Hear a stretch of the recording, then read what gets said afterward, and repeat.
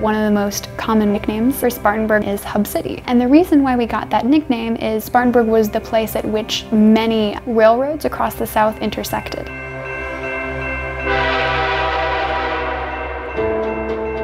Spartanburg County has the highest rates of food insecurity in all of South Carolina, so it really is a pressing issue. I knew I wanted to do something impactful and that would not just be a project that I thought was important, but that would be really addressing an issue that was already there. Being a food desert here, it means that a lot of the residents are in a low income bracket. It means that they have limited transportation, so most of them are reliant upon either walking or buses. And then also that means that there's no grocery store immediately within the neighborhood.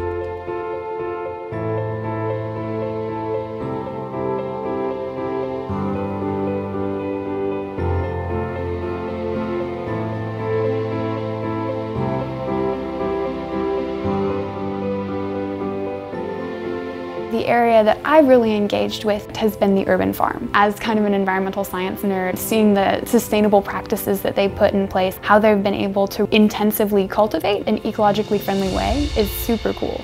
The project that I've been working with Izzy on is our Seed to Table program. So it's an education program geared towards local schools in particular, um, but we also open up to after school and also Girl Scouts and, and different groups. Seeing the smiles on the girls' faces and seeing, especially with some of them, kind of understanding those scientific and ecological concepts more, I mean, in the end, that's the goal. We want to reach as many people as we can, but just seeing a couple girls impacted by it really made me happy.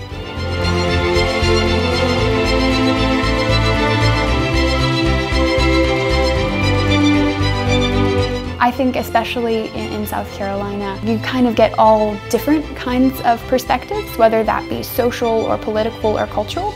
And I think that that's been very important for me growing up and it's something that I'm kind of looking forward to continuing experiencing as I move on to Harvard.